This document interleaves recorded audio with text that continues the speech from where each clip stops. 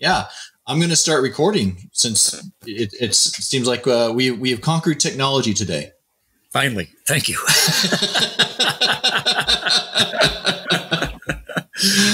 oh man. Um, now we're going to get into your writing career for a bit, but before your writing career, before your post-military career, uh, mm-hmm. you're on Born in the Battle. We always we always go way back, way back to that first time that you knew that the military was going to be the next phase of your life. And I say that in that way because, uh, especially with your generation, it wasn't always voluntary. Um, for you, when was that for you? When did you know the military was going to be the next phase of your life?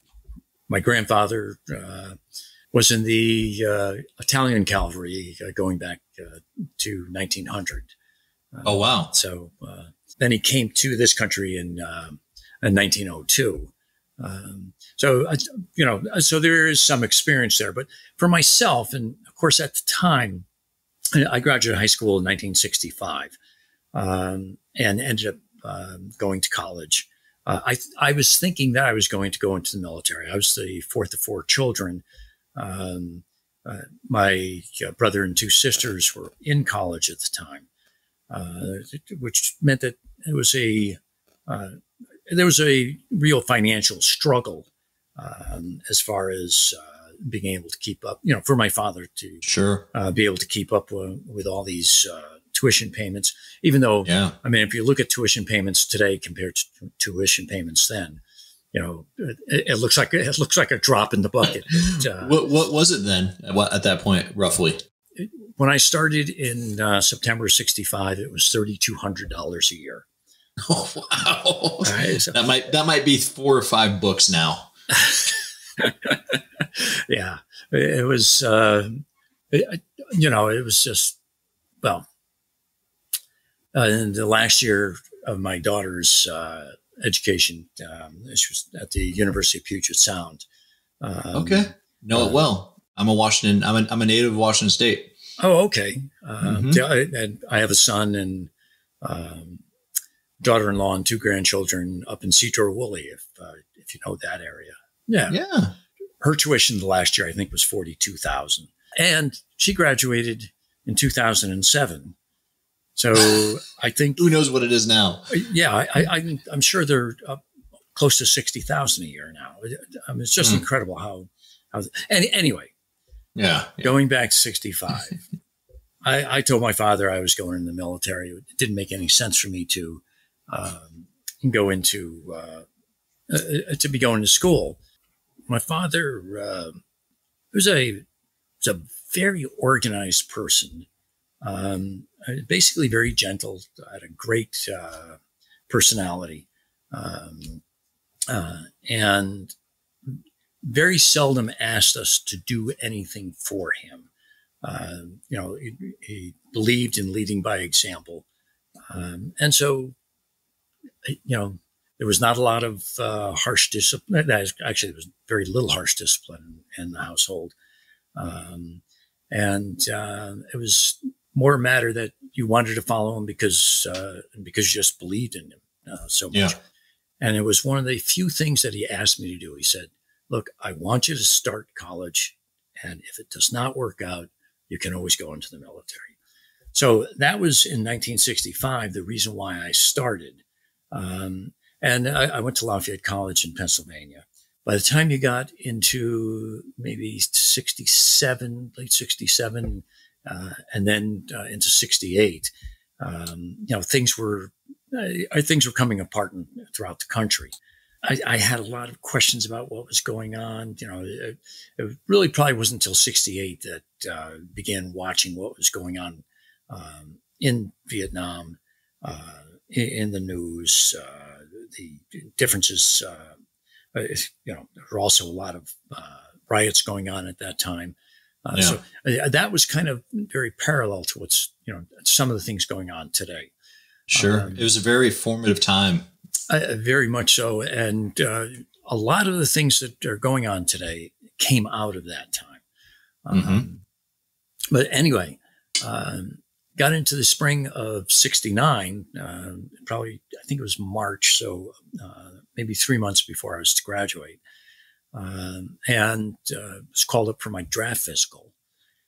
And uh, remember saying to them, um, well, you know, when would I expect to be drafted? Uh, and they told me, well, right after graduation. Um, so um, at that point, um, you know, it was actually in some ways a relief. It meant that I didn't have to look for a job, do any uh, interviewing with companies. Uh, um, you know, I it was there was a certain freedom knowing that Uncle Sam had a job for me. Yeah. Now, I didn't get my draft notice until November 4th, 69. So there's this entire summer where I'm waiting for it, wondering if I'm going to be called up. Uh, at this time, you had the um, uh, the draft lottery uh, by birthday uh, go into effect. Although it really didn't affect me because I was already in that system and already knew I was going to be called up. Um, and, but th- there was it was a very kind of weird time, and uh, I spent most of that summer um, building a ski lodge up in Vermont.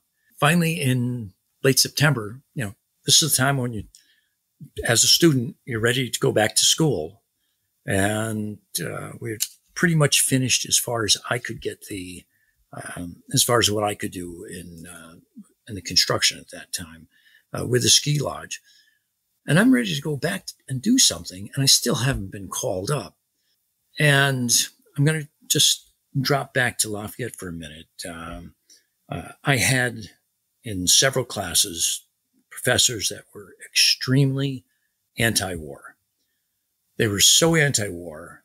They announced at the beginning of the, of the uh, semester, we're not going to teach this class. You can only learn things on your own. You can't learn anything by me teaching you. Therefore, this is open to dis- the class is open to discussion.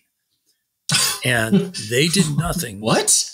Yes, yes. And in that class, and, and, there were a couple of them this way, and in those classes, they did nothing um, except talk about anti-war stuff which I found to be a major turnoff because, okay, I didn't know a hell of a lot about what was going on in Southeast Asia, but I knew a lot more than they did. And I knew that these people were idiots.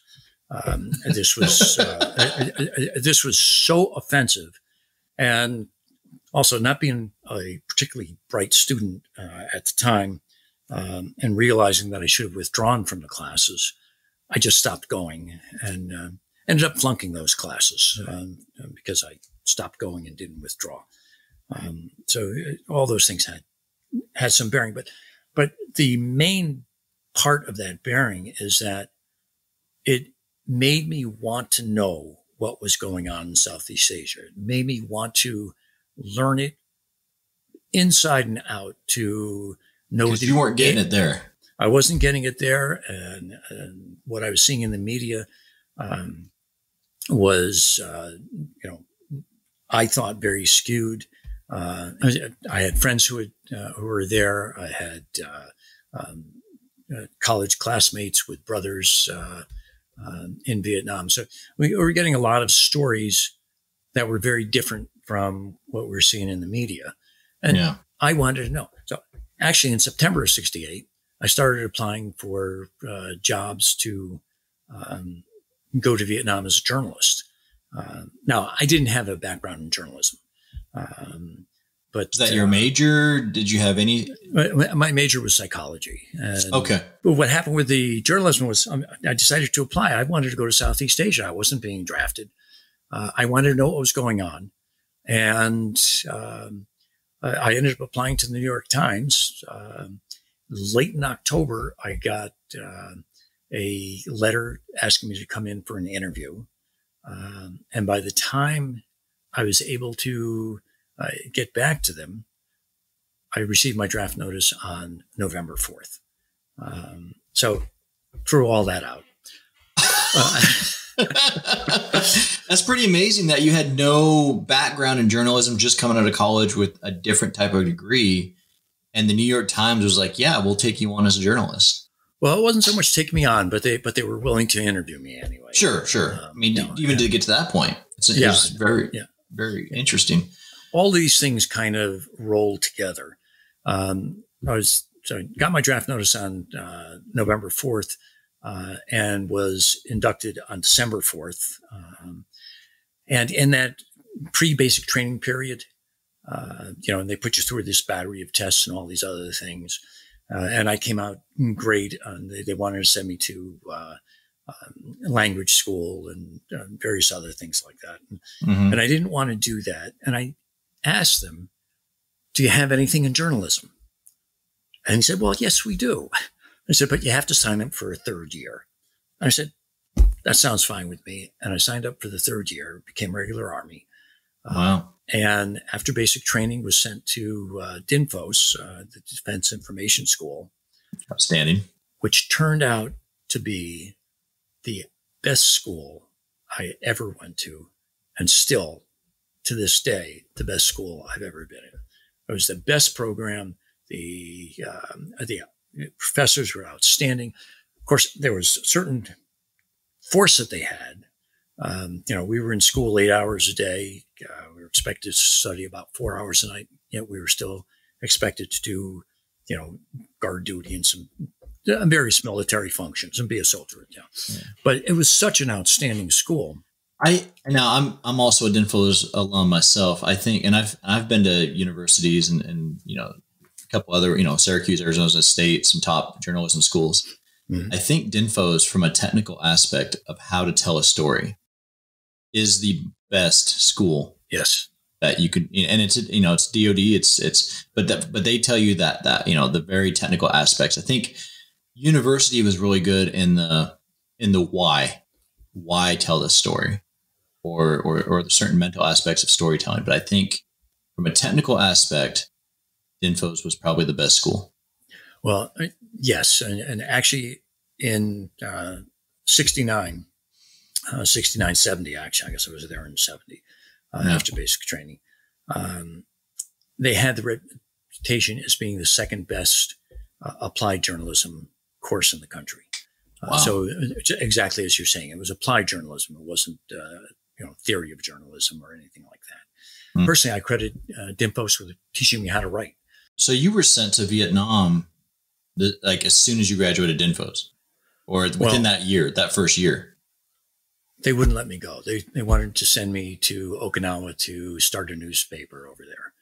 Oh, um, and those of us uh, who were Army uh, there was probably, oh, let's say there were 80 of us who were Army, and there were three of us, three that were chosen to go to Vietnam. None of them wanted to go. And at least two of us who really wanted to go had to get our Congress uh, men involved to get our orders changed so we could go to Vietnam. Um, so it was, and we worked through the um, sergeant major at the school. Um, yeah. He's like, you're, yeah, I mean, if you want to go, I mean, well, isn't that strange? It was actually hard to go. Um, yeah. You know, you, you actually had to force people to let you go. I was on a mission. I was on a mission to find out what this was all about. Um, yeah. And when I got to uh, the replacement station um, in Vietnam, uh, you know, you're waiting, you know, you have no idea where they're going to send you. Um, the buddy that I came in with uh, from DINFOS was assigned to Stars and Stripes uh, in Saigon, and I was assigned to the 101st Airborne. So, so you're you're with the 101st uh, in, in 70 in Vietnam. Now, I can't remember as his interview was over a year ago, but were you there the same time Dale Day was? Uh, Dale was there uh, earlier than I was. Dale okay. was there, if I recall correctly, uh, I think it was there 67, 68. Yeah. Uh, Dale's a good friend of mine. Uh, and as a matter of fact, he, uh, um, he and his wife, Julia, uh, publish my books now. Yeah, no, they're, they're, they're, they're outstanding. Yeah. Um, and actually, you came highly recommended from him. So uh, that was like, yeah, absolutely. I'll, I'll, I'll, have a chat with, with John here. um, similar to him, you were also awarded a Bronze Star with a V um, yes. during your time in Vietnam. Do you mind tracing that day for us? Um, no, not not at all. Um, when I first got to headquarters of uh, the 101st, mm-hmm.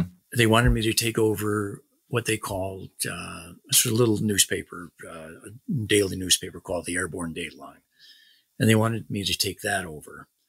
And for the first three weeks, I spent uh, those weeks at headquarters doing this newspaper, um, which I just hated. I, I hated being there. Uh, it was a matter of recording uh, AFVN uh, radio and writing stories up from their radio stories, uh, putting them on a mimeograph sheet, and uh, uh, then mimeographing out 6,000 copies each night. Mm. And I, I, wouldn't talk to, I, I, wouldn't socialize with anybody. And, and I let the major know right away that, you know, this is this isn't what I was there to do. Um, and that went on for three weeks. And uh, they would barbecue every night up there. Um, headquarters was very, uh, very secure. Yeah. Um, and, um, and I wouldn't go to them. Uh, I, I, I, you know, as I say, I was on a mission to find out what was going on. I, and, and, I can't tell you why I was on this mission. All right. I, I don't know what it was about me, but this was in my head that I had to learn this.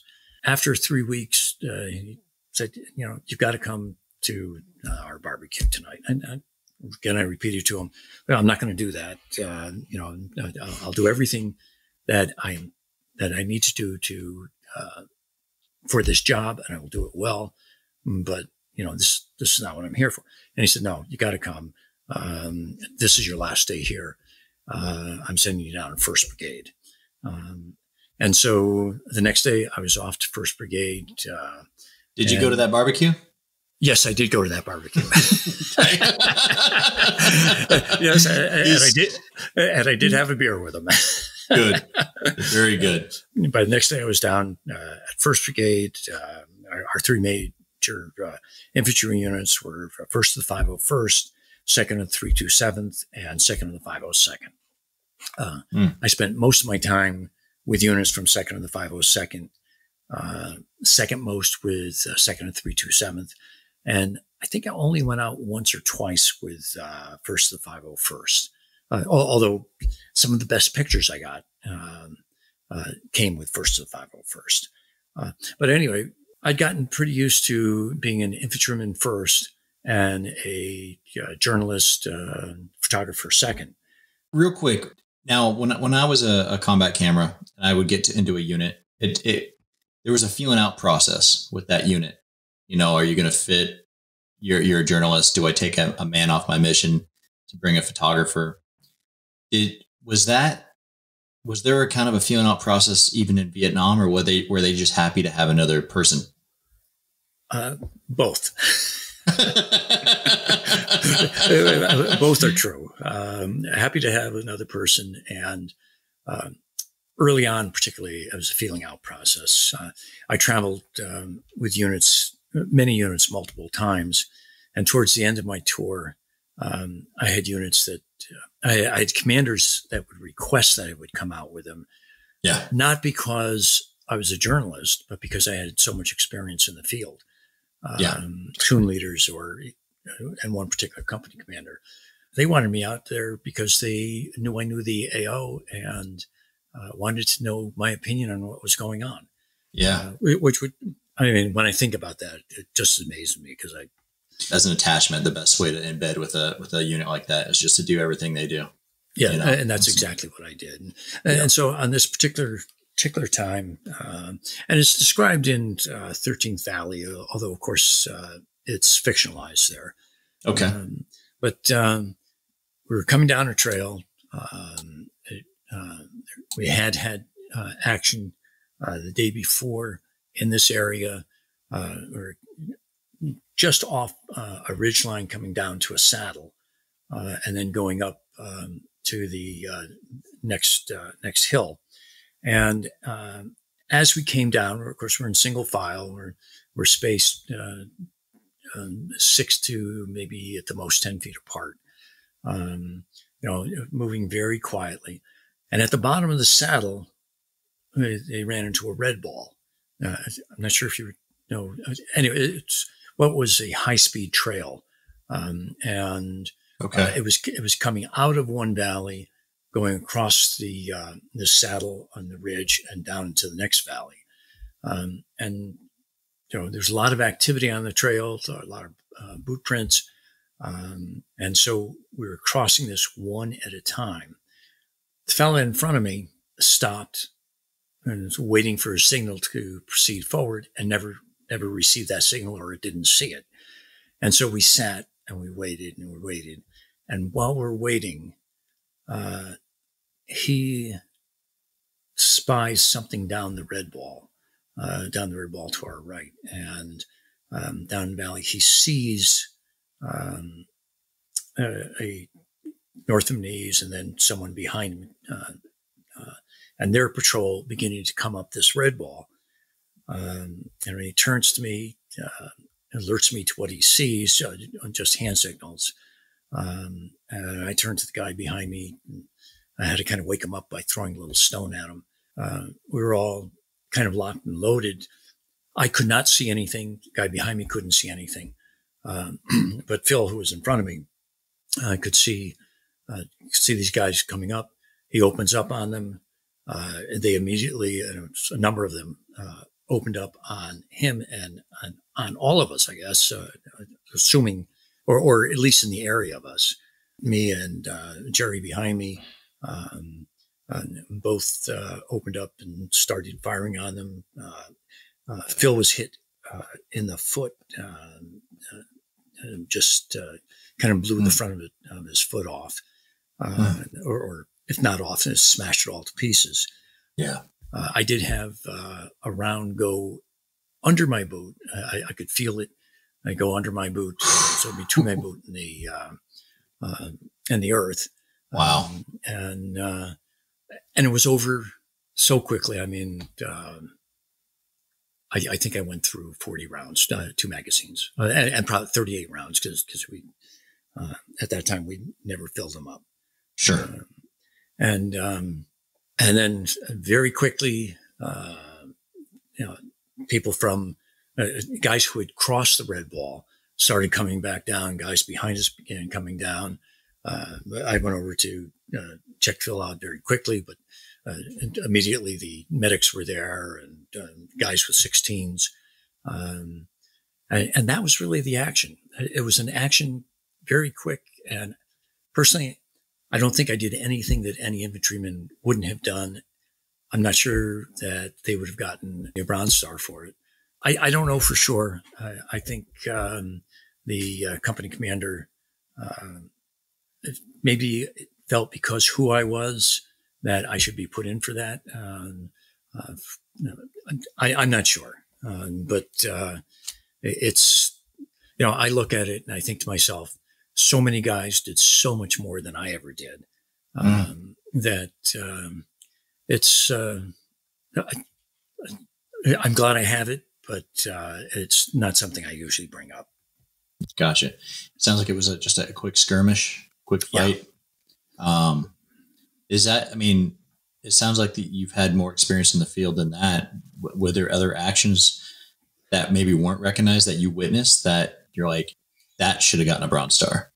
Not for you, but maybe for somebody else. Uh, yeah, there were a lot of other actions. Um, yeah, yeah, and uh, and there, there, were so many other people that were so much more deserving than I was. Um, you know, there's there's absolutely no doubt about it. Yeah, but it was. I mean, it was a fascinating time. I also, as a journalist, and uh, and you maybe experienced this too. You know, I had these tremendous other opportunities. I traveled with uh, aviation units, um, uh, went out once with the uh, 2nd and 17th Cav, traveled with MedCap units uh, into the villages. Uh, in the um, fall of 1970, uh, the northern part of Vietnam got hit with a major typhoon, which just flooded so many of the villages. And so got to go out with um, assisting these guys, uh, assisting the uh, more of a humanitarian thing. Uh, very humanitarian. Uh, got very close with uh, a couple of the interpreters, uh, and you know went to their homes. It was just an amazing experience, and, and, as I say, I was on a mission to learn everything I could. Um, I, I told some someone else, and I explained it. I said it this way: that for at least the first nine months there, I had no fear. And when I said that, when I thought about what I said afterwards, I didn't mean it as though you know I was somehow brave or courageous. Uh, it, it, these things just never entered my mind. Fear, fear never entered my mind at that time. Because coming home was not in the mind at that time. No, I, I, not at all. And it wasn't really wasn't until um, I think I became, in so many ways, the senior guy in my unit, and uh, and I had these uh, uh, platoon and company commanders asking me to come out with them, um, not as a journalist, but as uh, someone who was experienced in the AO. And I think that scared me more than anything else. But uh, it starts pretty late in my tour, but we're getting a lot of uh, in country transfers. They, they came from a number of different units. At, at that time, um, when you get into uh, 70, 71, almost all the um, combat action is south of the DMZ and along the Laotian border, uh, down to Kontum maybe, uh, uh, or Dak To. In the rest of the country, although there's uh, there are some actions, it's not it's nothing like it is uh, up along the DMZ. Yeah, first fifth, first fifth mech was uh, north of us uh, along the plateau, and 101st was basically in the uh, you know in the mountains. That influx of soldiers that were not in combat units uh, also introduced uh, a lot of heroin uh, users uh, into the 101st. Things changed drastically in the last couple of months I was there. And that drastic change, plus being a short timer, plus being kind of in this uh, in this position where people are asking me my advice, um, I, I, guess that that scared the hell out of me. That your mortality, you were starting to see your own mortality a little bit. Uh, and that's probably what it was, although I didn't think of it that way. But when mm that when the ammo dump blew, I thought we were under attack, and I was maybe the only guy that reacted that way. And I was that probably scared you. it scared. It scared. I mean, I reacted so quickly. I had my weapon, my steel pot, uh, and I was in a trench. I think before anybody else even looked around. Um, you know, so, uh, you know, I can I can see where that would scare you. Like, where where are you guys? what's uh, what's going on? yeah, you you talked about um, going to you, you know getting to know your translators, going to their homes. Um, what's one thing about the Vietnamese culture that you learned out there that maybe someone doesn't know about? This may sound a little strange, but um, I kind of looked at the Vietnamese that I knew as the Italians of Southeast Asia. They're very close families, um, very similar to the way I grew up. Uh, many of them were Catholic. You know, people would talk about them um, honoring their uh, ancestors. I grew up uh, after church every Sunday, uh, we would go to the cemetery uh, uh, to the graves of my grandparents. Um, oh, wow. Know, and, and, so, so many of these things seem so very similar to me. Um, I, I, just, I just felt that I knew these people. Also, as a as a soldier, I had a lot of respect for the enemy soldiers, not for their cause, sure. but for what they were what they were doing, what they were enduring, and how they operated. While you were in, give me either a best friend or your greatest mentor. My closest friend uh, uh, there and for uh, for many years after, uh, unfortunately, has passed since, uh, was my field partner, uh, Marcus Letty. Um, he was Mark Gilreath in Vietnam. Changed his name back to his biological father's name after the service, uh, and his biological father's name was Letty. So, so that that's where uh, the Marcus Letty comes in. Um, but but he was my field partner, and uh, uh, we went out on a number of operations. He had been there a lot longer than I had been. He was pretty short uh, while I was there, and you know he didn't want to go out on too many of these operations. Uh, but he's the one who really got me going. introduced me to a lot of people. As far as greatest mentor went, though, and this comes after Vietnam. After Vietnam, I um, served with uh, uh, the 72nd Field Artillery Group in uh, Germany. Um, uh, where we, uh, the group controlled one quarter of all the nuclear based, uh, land based uh, nuclear weapons in Europe. Okay. Um, and so this was a very interesting time. And now we're into 71, 72. The um, commander there at the time, Colonel uh, Harry Brooks, uh, we're in a time when there's a lot of a lot of agitation, a lot of uh, conflict in the service uh, racially. Mm. Um, Brooks just knew what to do. In so many units in Germany, there were uh, what we called at the time race riots, but there's a lot of racial tension. And under Brooks, we had we had none. The headquarters was very understaffed. Um, as a Spec Five, I filled uh, the slot as uh, his race relations uh, I don't know advisor or whatever you might call it.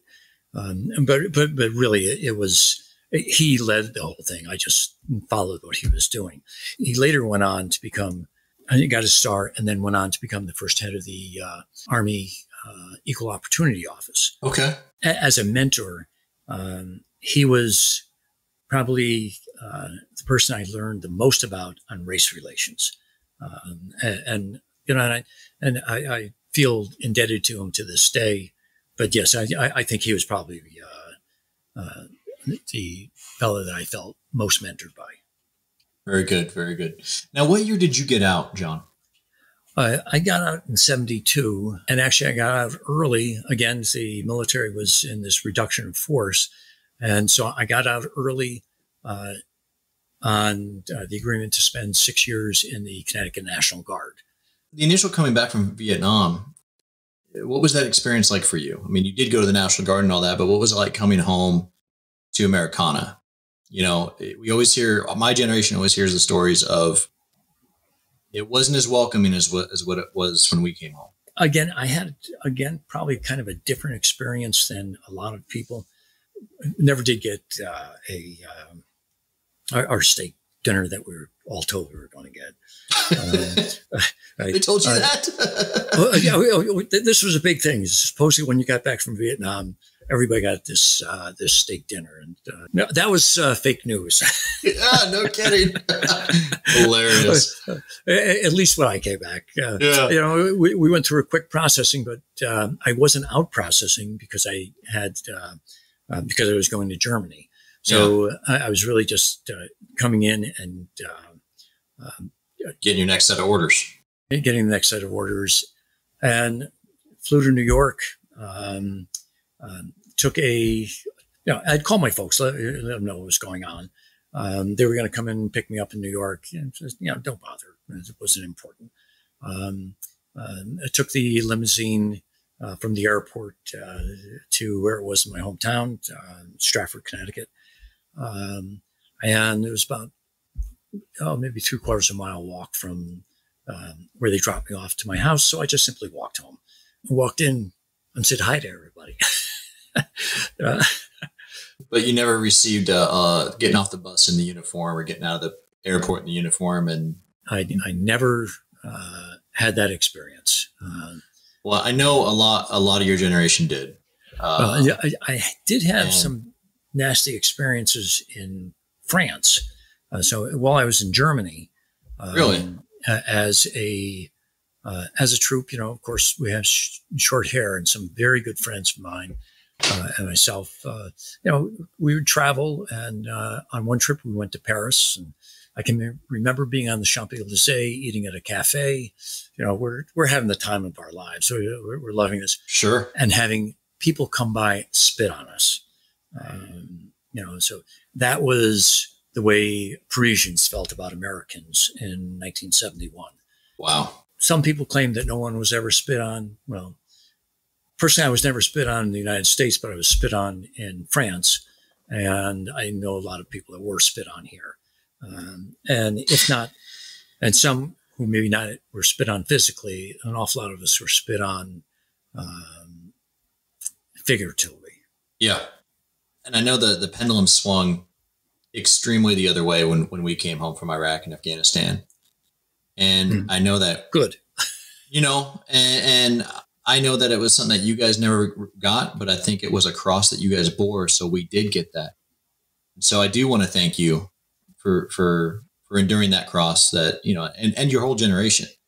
So I, I really we we are really if if there's anything that you can take away from that time, just know that our our generation is extremely grateful for what you guys endured because it allowed us to enjoy a proper welcome home. So thank you. Good.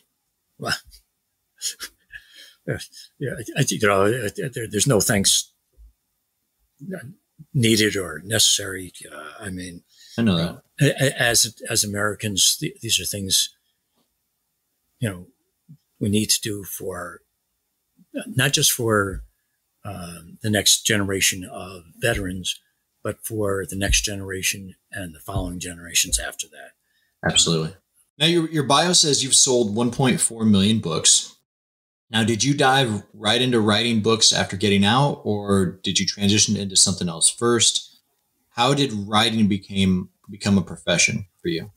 I, you know, I, I started writing the 13th Valley probably in 72.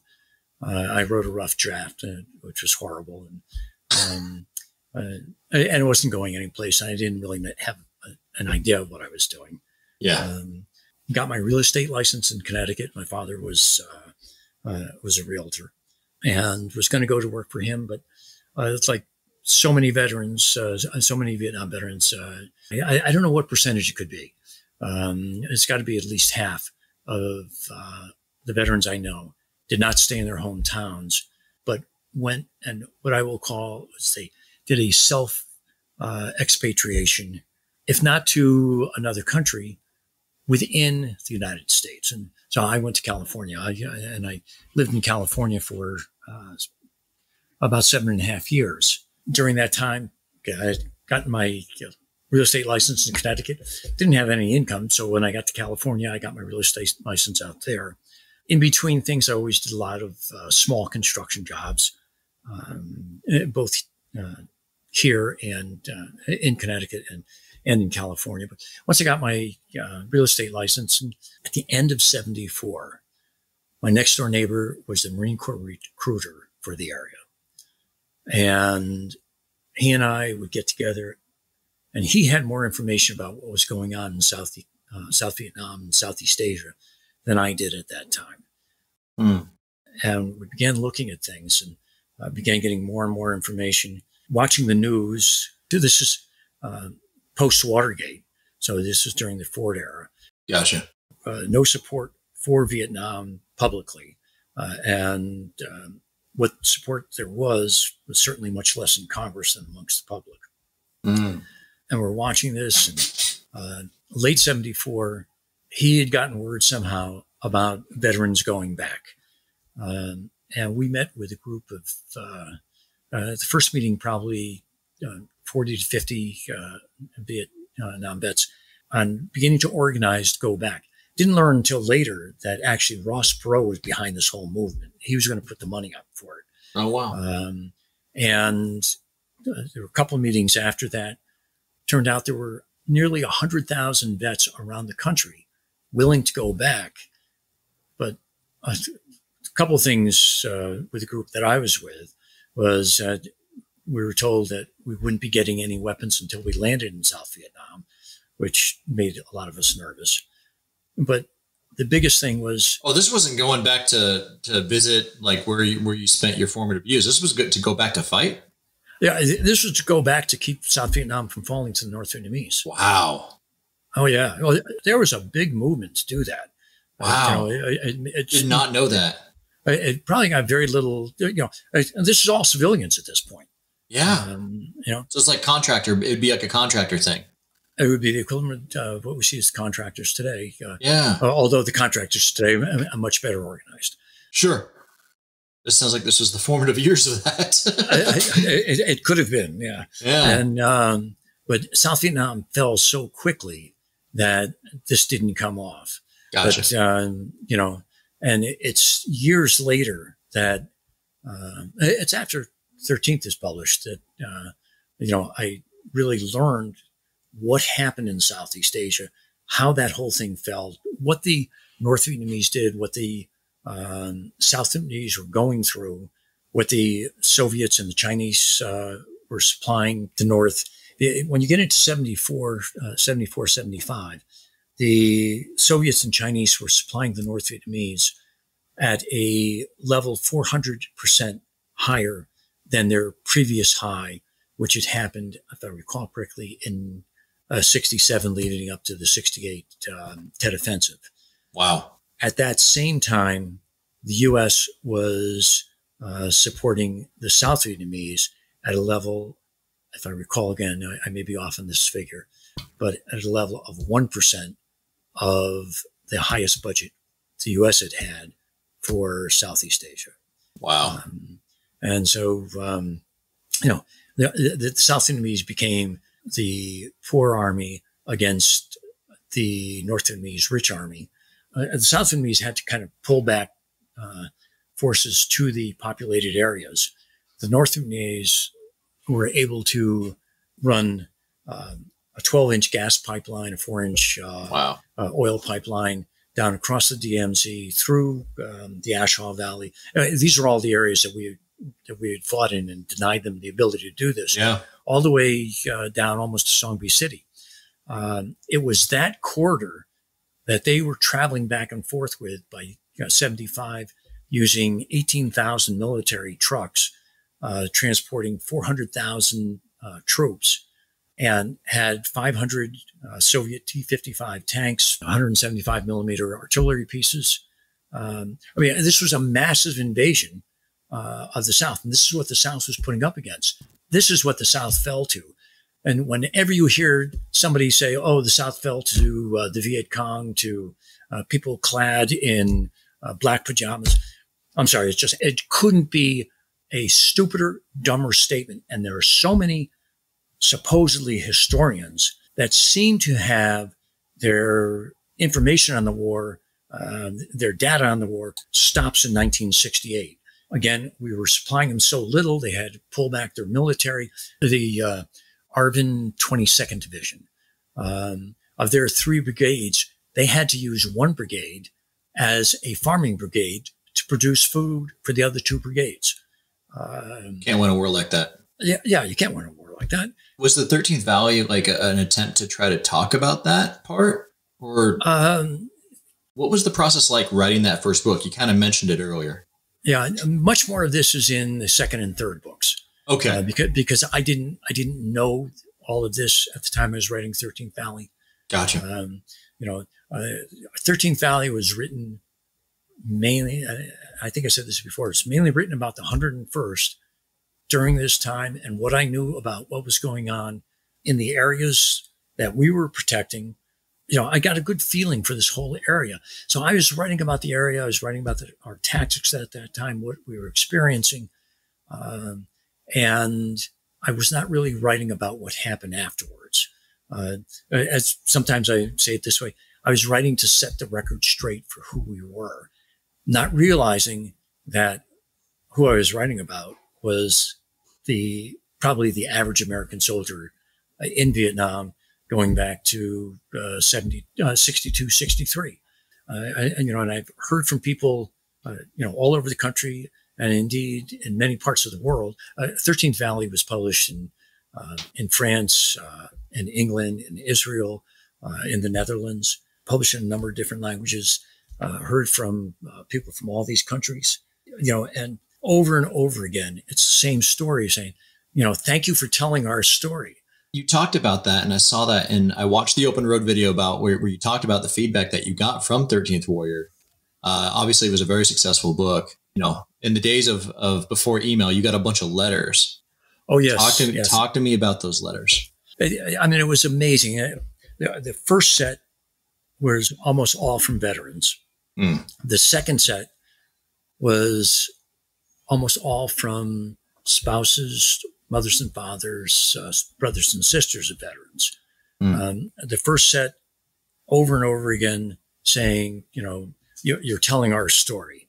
Um, the second set, so many of these people said, my husband, my son, my brother, uh, whatever, could not tell me about what he went through, but he handed me your book and said, uh, this is what it was like for me. Wow that was repeated hundreds and hundreds of times. to, to get those letters over and over again. It just had to be a, an experience for you as well. Um, uh, it, it, was stunning. It was shocking. It was uh, so educational. Um, and it also introduced me to some people that basically gave me a much deeper education on the war in Southeast Asia.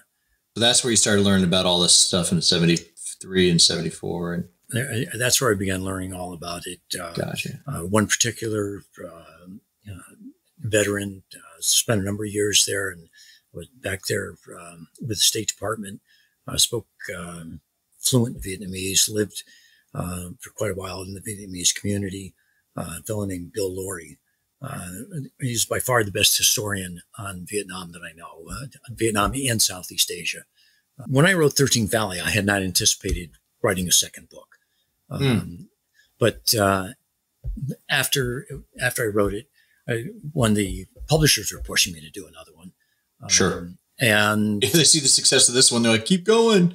Yeah, exactly. and, uh, and so they wanted me to do one on the homecoming experience, uh, which is what "Carry Me Home" was all about. Okay. But, uh, so I started "Carry Me Home" uh, shortly after, and I was having trouble because I was uh, wanted to do a story, Marines, Army, all, all the services, but plus Southeast Asians. And so I had characters who were um, Vietnamese and Cambodian. And I was having trouble jumping back and forth while I was writing and trying to do this in some sort of lineal fashion. Sure. And I said, you know what? I'm going to do the Cambodian story first. It's going to be the shortest one. Um, and uh, and then I'll do the Vietnamese story, and then I'll do the other stories, and I'm going to take these sections, and I'm just going to take it like a like a deck of cards. I'm going to shuffle them together uh, and see where it goes. Well, I never did get to that point. As I began working on Cambodia, I spent five years researching Cambodia, writing about Cambodia, um, interviewing uh, refugees, reading uh, other interviews of refugees, source interviews on a, it, it, was in some ways the most depressing period and the most enlightening period of my life. Um, oh wow! one of the a common expression in the 60s and 70s uh, was there's no such things there's no such thing as good and evil there's only shades of gray mm. um, I, you may have heard that or not, but that was very common at that time. And I guess I probably su- subscribed to it uh, to some extent. Yeah. Um, but it was on uh, reading and researching and uh, interviewing uh, Cambodians and, and, and, people who served in Cambodia um, that I, I came away from that experience absolutely believing that there is such thing as evil. I can only imagine. I, I would spend 10, 12 hours a day um, working on this. And then I would come in at night and I would watch the silliest, uh, I would watch uh, sitcoms uh, on TV and laugh my head off. Try to lighten the mood up a little bit after reading about the Khmer Rouge. Yeah. You know, it, it was that whole, that whole thing. It wasn't a matter of even lightening the mood up. It was a matter of uh, trying to maintain your sanity. Wow what happened in the writing was I got into this, uh, and, and, all of a sudden, this section, which I was expecting to be about 60 pages about this uh, um, Rouge soldier, th- this manuscript got to the point of about 300 pages, and I'm going, oh my God, now what do I do? And so I talked to my uh, editor at Bantam at this time, Peter uh, Guzzardi. Yeah. Um, and Peter came uh, to the house and sat down, and much quicker reader than I am. But he sat down and read the first half. Uh, he read the entire manuscript, uh, the Cambodian portion, and he just turned to me. I think he must have spent about four hours doing it. And after four hours, he turned to me and said, "This is your story." Uh, he said, "Finish this." He said, "Go back to the other one later." Uh, mm-hmm. And so that's how, um, um, uh, for the sake of all living things, came about. Uh, gotcha. And that that was the so that was the second book and that that also did very well. In, in my mind, that's the best written of all my books. Gotcha. It's a very difficult book to read for many people because Uh, there's so much torture that goes on uh, that's so, uh, that's involved in it, um, uh, and yet when I look at it, I didn't include a quarter, or maybe not even a fifth, of the different kinds of tortures that I read about. Wow. Um, that's how horrible that whole experience was. Wow. The book was picked up by the Chicago Police Department and used as supplementary reading um, in teaching officers and, and, exactly what the department was, I'm not sure, um, uh, in how gangs operate. Interesting. All right. So, in because there's a section in taking this young uh, Cambodian boy who is taken from his family uh, and becomes a ruthless uh, Yotha uh, uh, Khmer soldier. And that whole process uh, is what the uh, Chicago police tapped into and said, this is what's going on in gangs also. It's not just simply physical indoctrination, it's uh, killing the person who was a young boy and re, uh, having them reborn into this organization that they're in. Yeah. Um, whether it's a gang or uh, whether it's Khmer Rouge. You know, uh, one of the things in my books, um, uh, they are novels, uh, and they're novels because of the way I put them together. But most everything that goes on in these books happened. Um, they're, they're, they're based in historical fact. Uh, they're based in historical fact and in personal uh, in personal stories. Now, oh, wow. personal, uh, you, you, know, uh, now a character in a book is not necessarily one character, one person from outside. It's a, you know, he's probably he or she is a composite of many people. Makes sense, um, and, and, and, including me as the writer. You know, there's some, there's part of you in every character. Yeah, um, it's funny because that you say that because it, you know, in film sometimes it's it's a composite of many characters in a book, Mm-hmm. Now you're talking about how your book is a, is a composite of many characters in real life. Yes. So there's almost like a distilling of the story through every medium. Uh, yeah, that's an interesting way to put it. I hadn't thought of it that way. Yeah. Um, but but but in, in order to write, you have I, I think you have to do that. Yeah, absolutely, absolutely. Now you're writing under Dale Dye's Warrior Publishing Group, uh, fellow combat correspondent in Vietnam. Yes, uh, seems to be veteran run, veteran writers. What's that experience been like? It couldn't be couldn't be a more positive experience. Uh, both Dale and his wife Julia are absolutely wonderful to work with. Uh, after working with uh, uh, numerous New York publishers, yeah. Um, uh, so if you compare that with what Julia and Dale are doing, uh, you know, of course, they're a much smaller publisher. They don't have the assets behind them in, in, order to promote the way the big uh, companies do, but they're so much more honest. Um, and, and that's va- that's value in itself.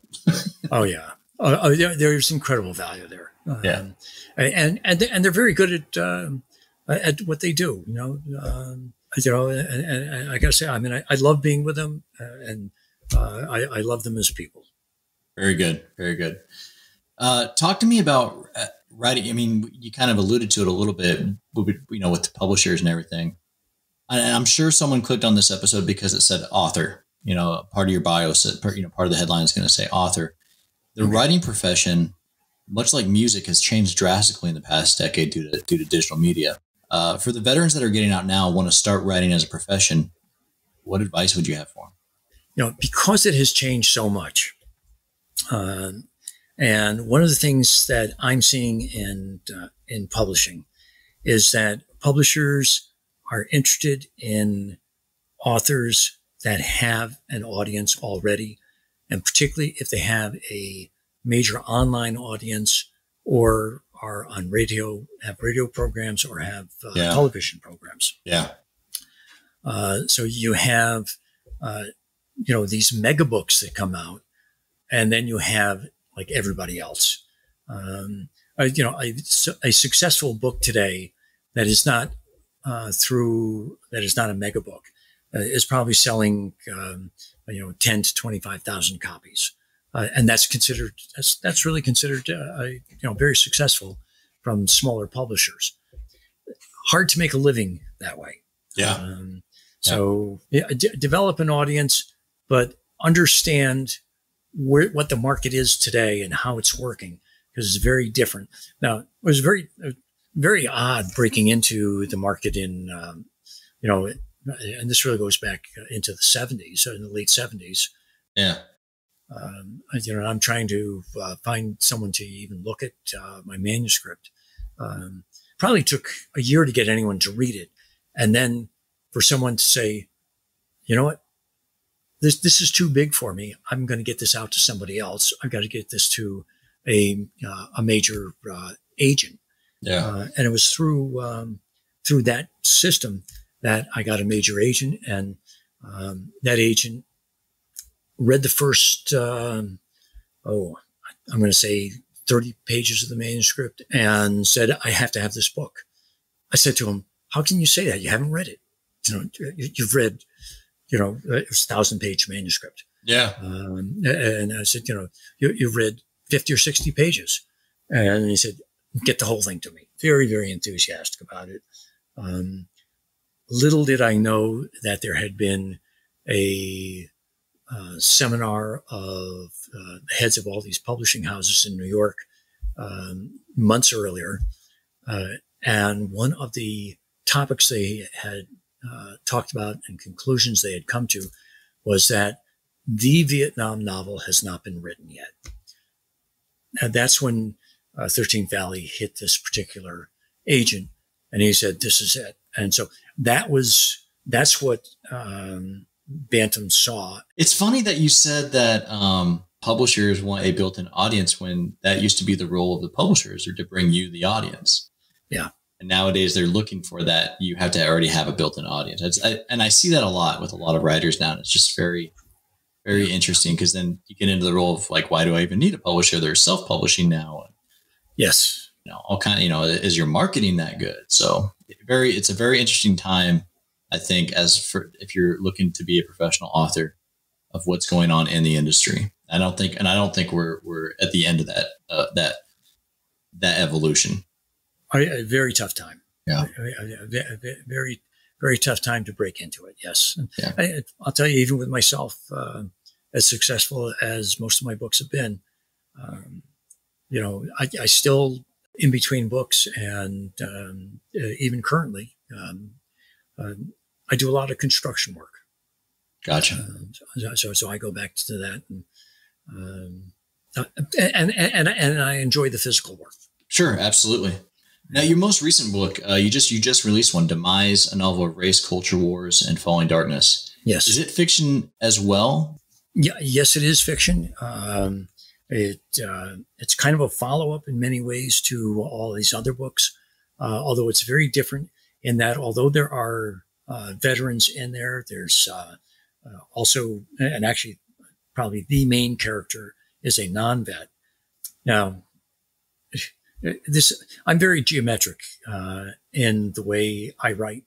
Okay, so I see um, a geometric pattern uh, in the books as I'm writing them, and, and even as I'm um, first uh, putting the story together.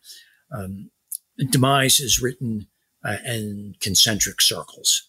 The innermost circle is the main character's suicide contemplations. Um, and um, then the circle around that is everything that's going on uh, in his contemporary life. The, the first, uh, the inside circle is uh, seven days long. The what's going on around him is about the hundred days story of leading up to this period uh, of his uh, of his suicide contemplation, and then the outer circle are all these flashbacks that give you um, his history, uh, his family history, what has brought him uh, to uh, the point he was in the hundred days, and again, what brings him to this final period in his life. Um, but in there, and there's as he was growing up. So this is in one of the flashbacks uh, in high school. He's a uh, running back on his high school football team. Um, he's a white guy. Uh, his best friend uh, is a black guy, also a running back. They're known as the uh, salt and pepper running backs of their uh, of their high school team. Uh, they lead them to the state championship game. He, his best friend, goes to Vietnam. Uh, he drops out and gets into the drug culture. Um, goes to uh, college, but um, doesn't graduate. Uh, finally goes, uh, uh finally meets a woman that um, kind of gets him back on course, goes back to college, uh, finishes college, uh, um, has a family, moves to a suburban area. And in the suburban area, he finds his friend who, after Vietnam, has gone to college, become uh, a uh, chemical engineer, is working for a uh, big corporation in the neighboring city they get together over their own children. Uh, uh, they, they, reestablish their friendship. And much of the story, uh, this 100 day story, is about what's happening with each of these two families um, uh, in as it's juxtaposed between the city and the suburbs, uh, between veterans and non veterans. Why did you want to write a book like that? I guess a lot of it was because I was experiencing so much of it myself. Um, not quite in the way it happens um, in the uh, in the story uh, in in this book, but um, it seems like a very different style book than what you've written before. Well, it, it goes very deep into the families and into uh, the characters, and you know, into things that happen in business and corruption and you know, and all these different conflicts. Uh, polarization by race, polarization um, by uh, a city from a suburb from uh, Exurbia. It, it's very contemporary, and, and actually, um, uh, one of the things I've been saying, and particularly with what's going on right now in the country, um, I, I, tell people, you know, demise uh, important now more than ever uh, because uh, even though much of it was written long ago it's just so pertinent to what's happening today. Very good. Very good.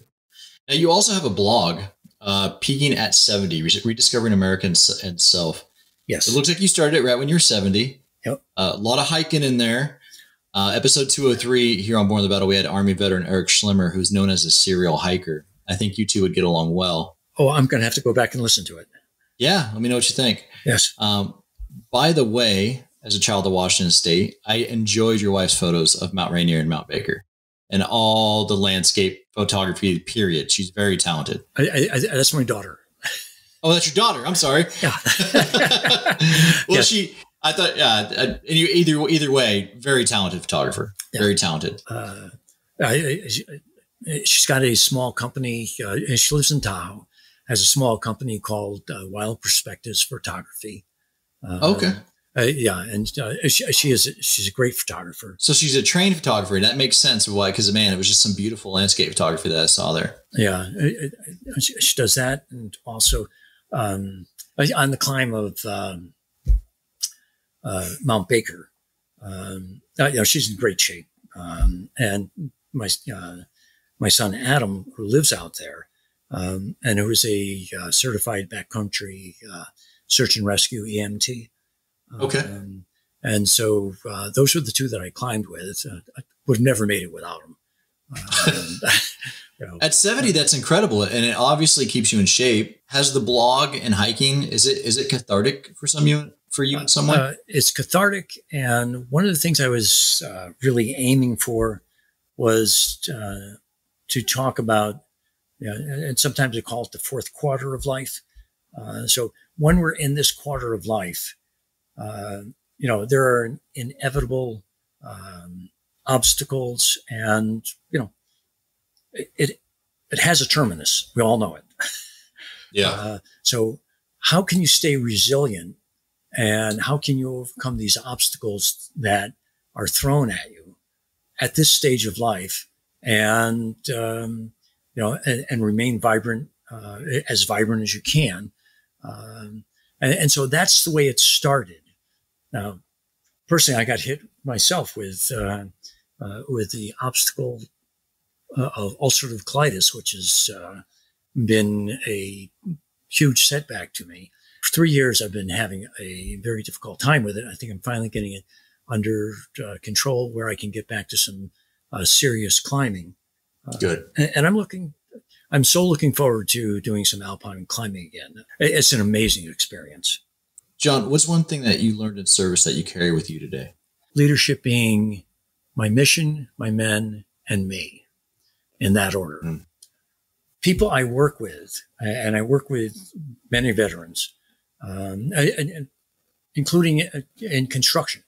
Those people who see the mission first and their people second, to me, are very successful. And they're, you know, those tend to be very honest people and they're also very successful. People who reverse that order and say, me, and often it's me, mission, and my people. Um, to me, those are the least successful people. Um, yeah. So I think that's something uh, that, that's something I learned in the service. Uh, uh, in the 101st, particularly, uh, we had just, I mean, as a young soldier, I did not appreciate it anywhere near enough, but the leadership in the 101st was uh, was just absolutely amazing. I, I, will never be able to uh, thank them or live up to who these people were and who they still, many of them still are. Very good. Um, John, is there a veteran nonprofit or an individual who you've worked with or for or have experience with whom you'd like to mention? Currently, what I would think I would say, uh, what I think is one of the most important organizations, uh, and there are many of them. There, there's there are some that are doing sure. uh, tremendous work, uh, but um, there's those. I think what I would say is most important historically, and it leads into all this though, would probably be Vietnam Veterans for Factual History, uh, which is uh, vvfh.org. Um, okay. If you really want to know what has gone on, these to me are the top historians in the country. They certainly go way beyond the um, uh, the Vietnam War, uh, both earlier and later um, uh, their, their, personal experiences, and as veterans, to me, uh, they destroy so many of the myths about uh, Vietnam. There, there's not a better source of information, and through them, going to all the uh, original sources, um, you, you you can't beat it. Yeah, John, is there anything else that I may have missed? Uh, we've covered a lot of ground. Um, is there any, anything else that I may have missed or or didn't bring up that you think it's important to share to the listener, or maybe maybe a parting shot to the listener? Yeah, you know, I guess maybe one of the things that uh, we haven't covered um, is I did a book with uh, Frank Gallagher um, about protecting uh, Paul Bremer uh, in Iraq in uh, 2003, 2004. Uh, okay. It's, it's called the Bremer detail.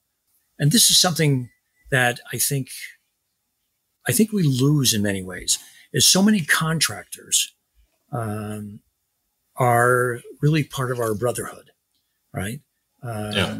And in some ways, I think a lot of people look down on them and just say, "Oh, they're mercenaries or something." You know, like it's kind of like it's a bad word, but but understand the contractors have gone through, uh, many of them have gone through uh, a lot of combat, and a lot of uh, very uh, traumatic situations. They have no support the way um, military veterans do. Um, and uh, they're part of our brotherhood. they should be, they, this should be known by, by all of our veterans. They have the same problems uh, our veterans have you know, with PTSD or uh, some portions of it. And, um, you know, so it's just a reach out to them also.